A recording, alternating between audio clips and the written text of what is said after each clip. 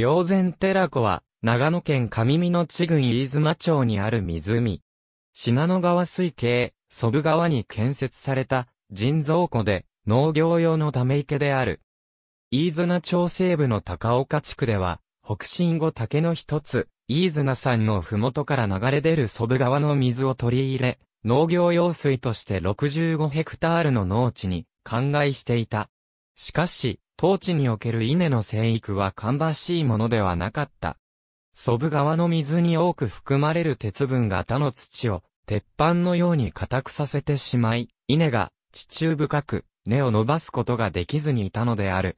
こうした状況を打開すべく、1950年代になって有志による研究が始まった。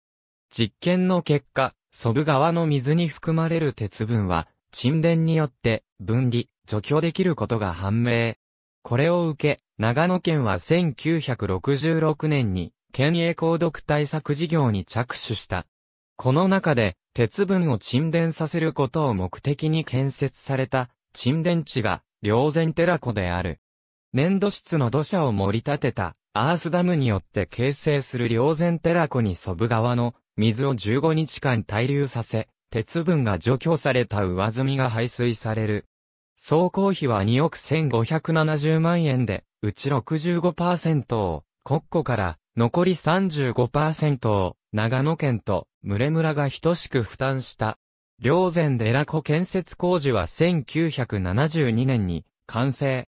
同時期に長野県営補助整備事業が実施され、スコップで叩き割ることもままならなかったほどに高架した土を粉砕し、土壌環境を改善させた。長野県長野市中心市街地から、浅川ループラインを抜けると、霊山寺湖のある、飯綱高原に至る。霊山寺湖は、豊かな高原の自然に囲まれ、湖畔に生えた吉は水鳥たちの羽を休める場所となっている。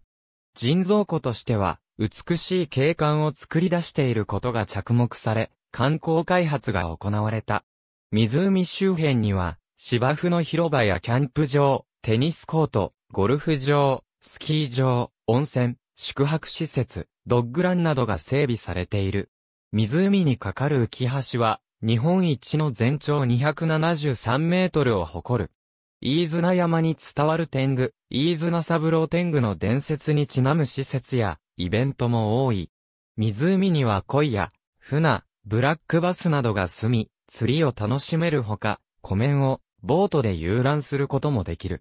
冬は気温が氷点下となり、結氷した湖面上にワカサギ釣り客が多く訪れる。2001年には日本では新発見となる藻類が発見され、冷戦自社ジクモと名付けられた。